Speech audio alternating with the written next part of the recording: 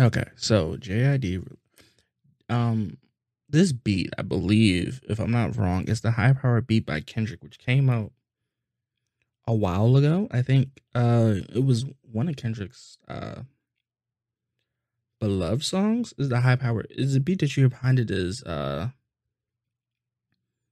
Kendrick's High Power. The song we were talking about today is JID's 2007. Now,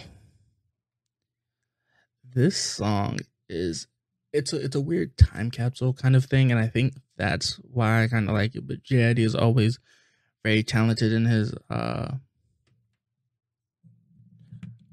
his wordplay. Um, as in the first verse, he goes, 2017 Cole drop to come up. I was in high school playing corners. Never dreamt about mumbling words in front of hundreds. Ah, that it just it kind of flows off the tongue. You know, forever, hundred it just corner, come up, full in front of hundreds. I just I like the way that this plays off each other. And he says 2019 is a warm up. He's kind of uh relaying J Cole's history. J Cole. Um, his father is on here, and, and in truth be told, I think I do like tracks like this because they're they genuinely come off as original, and it's very hard to beat these original songs. He says one of his friends wanted him in the studio dorm room next to his, and he was making beats. Um, but he was clearly freestyling over him, and then that's how he got noticed. And I think that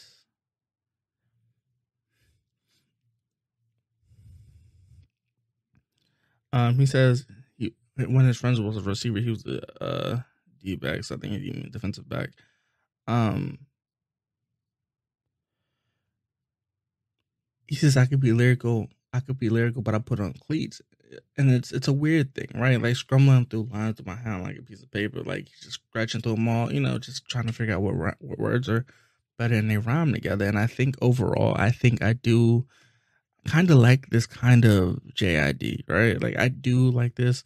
I can rap, but I can, but I rather tackle and pedal back, which makes sense. Um, I got Player of the Year figured I was on track to be, you know, you know, it's crazy because there's a lot of people, especially when they play university ball or college ball, that are normally put on the right track to either get to, or high school and get on a college team, right? Or secondary, where you know they get one, they go from secondary. It's it's a weird thing. So most people find contracts that way. That was in my ear about rhyming on the tracks. After the practice recording, we got we got we kind of got it like wax. We kind of got used to it. Um, on campus, I heard a few rappers from ATL or Atlanta. Happen. Maybe we could make something happen. I was serious enough.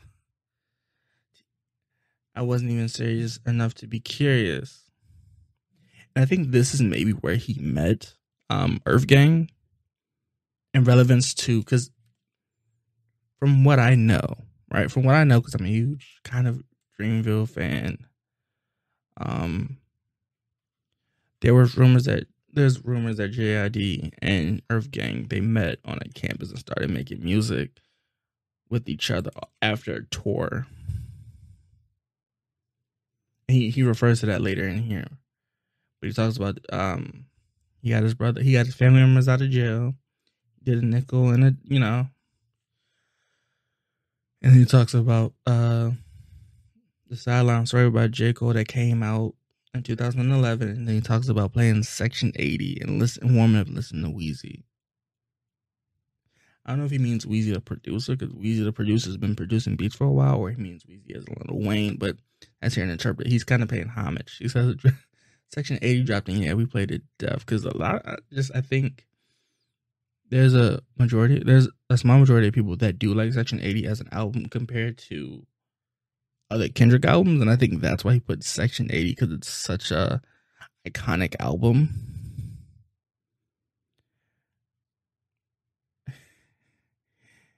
And if and if I could recollect correct, you tried to sign him for yourself, which I think is amazing. I think I think Kendrick and Cole tried. I think Cole tried to sign Kendrick. Or Kendrick tried to. it, one of those ways it would happen where they were trying to sign each other when they were first getting started. And but they did co-sign for each other, so that didn't matter.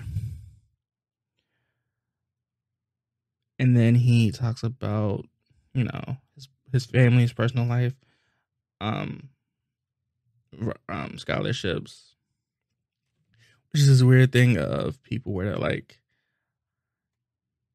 it's a weird thing because he he he says that he left on a he left on a full scholarship to go to school and get a degree. And it's and it's it's this weird assumption, right? Like it's this weird assumption, especially in certain communities where if you get a degree, you made it, or if you go to college, you'll um you'll get the number one position. You'll be set for life, and you know that is you know that's that's true for some, not true for all. Um, a lot of people his dad addresses it saying, um, we're taught education was was the number one thing or way to get a, the way to get ahead. And I think that I think to some degree into his you know to his respect, there are some there's some people that that works for, and then that you can see why Cole and Kendrick and JID are so lyrical in the way that they speak because everything they says has a meaning behind it, which I do like. He says the never story dropped I was coming off a tour. Um, but yeah, but he says it was an Earth Gang set, and I only came to do a song. Over excited, bro. Uh, he's kind of nice with his beats. Uh, can we get him? And he had a connection with Cole because Cole.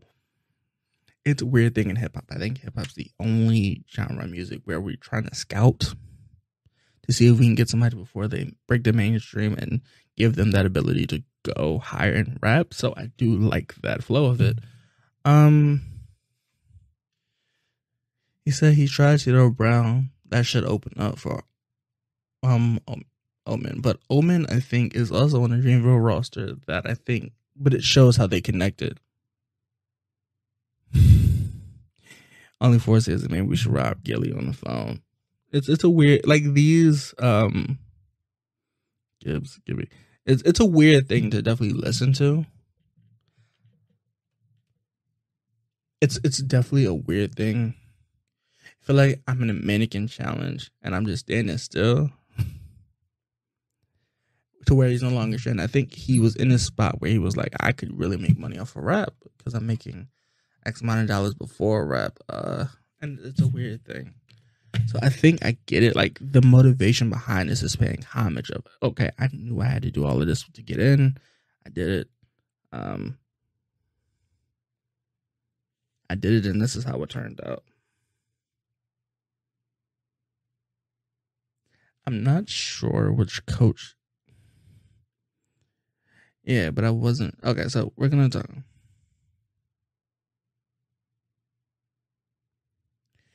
Okay, so he had a conversation about uh about signing to Coach K and so don't take advice from people because they're gonna try to take advantage or they're gonna whatever you get off of somebody's advice, they're gonna think you, you that you owe them, and I think that's the weirdest message to hear. And I'm not sure which I'm about to sign to Coach K, but, but I ain't take that advance. Um, which I don't know if he's talking about um Mike it's that last name always messes me up, but he is the um you know um he was uh the USA basketball coach for the Olympics. I think that's what he's talking about, but I'm not entirely sure what he means by Coach K. Um, Cole says, "Hold on, hold on, I got a plan for you." And to Cole's and to Cole's benefit, it did work out because Cole is an artist that does something differently than other artists, especially when an artist runs a label or a brand. He can understand it and, you know, kind of see where you're coming from on release dates, albums like that. Um, but we haven't really heard anybody on Dreamville say we couldn't put in an album we wanted to. So, um, J. Cole just says, Hey, I remember the time you came to my crib and I told you to bring Earth Gang. Um, to Carolina to make a song. The Dreamville, Dream, the, the Dreamville sign wasn't on the, like, wasn't even thought of, which is weird. I, I think there are a lot of artists that are like, well, if I'm gonna go, if I go out there to deal with the Drake or make a song with the Drake, um, Lil Baby, J. Cole, Kendrick, they trying to sign me or something. And and that's the only reason I would go up there. JID, JID, Earth Gang, they didn't have that contract. They didn't have them in them. They didn't have a contract going up there. They just did it because they were passionate about it. And to be on a Cole song is, let alone will put you on the map, but it, it's it's it does amazing numbers for you. Um, but I think I think we, we understand that, right? he says, but he could tell that he was very determined. That's that's the separated from most people and JID, and I think that's true because JID still puts out good music. He's not switched up his flow. It's still lyrical. It's still something you can vibe to. I don't know. Overall, I do like this song, but I do feel like this song does pay homage to 2007, and I'm not sure when Cole and JID um, were looked at because I did learn JID maybe 2010. So I'm not entirely sure how him and Cole were before 2010, but that's where I learned JID. And Cole, I learned a little before that. So I'm not really sure. Um, because my first dealing of understanding J. Cole was actually the come over warm up. Um,